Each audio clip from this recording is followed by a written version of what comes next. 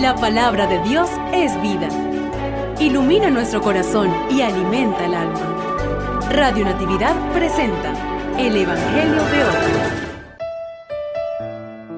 Lectura del Santo Evangelio según San Mateo, capítulo 5, versículos 17 al 19. Gloria a ti, Señor. En aquel tiempo, Jesús dijo a sus discípulos, No crean que he venido a abolir la ley o los profetas. No he venido a abolirlos, sino a darles plenitud. Yo les aseguro que antes se acabarán el cielo y la tierra que deje de cumplirse hasta la más pequeña letra o coma de la ley. Por lo tanto, el que quebrante uno de estos preceptos menores y enseñe eso a los hombres, será el menor en el reino de los cielos. Pero el que los cumple y los enseñe, será grande en el reino de los cielos. Palabra del Señor. Gloria a ti, Señor Jesús. Un saludo de paz y bien para todos aquellos que nos escuchan a través de Radio Natividad, emisora católica del Táchira, donde queremos formar parte de la buena noticia de Jesús en tu vida. Y esa buena noticia no es otra sino la de cumplir y enseñar como nos da hoy el Evangelio.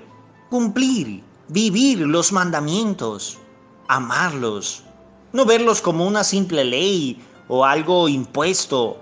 Cumplir la voluntad del Padre es la mejor expresión de amor que Jesús regaló a su Padre y al mundo entero.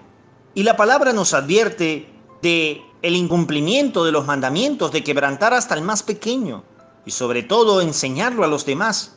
¿Y en cuántas ocasiones nosotros enseñamos a incumplir los mandamientos, a incumplir la ley?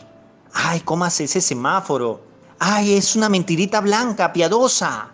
No te preocupes, eso nadie lo va a notar, nadie se va a enterar. Pero hermano, dice la palabra, Dios que ve en lo secreto te recompensará. Y Dios nos está viendo. ¿Tú qué estás enseñando? Porque de acuerdo a lo que enseñes, serás el más grande o el más pequeño en el reino de los cielos. Repito, ¿qué estás enseñando?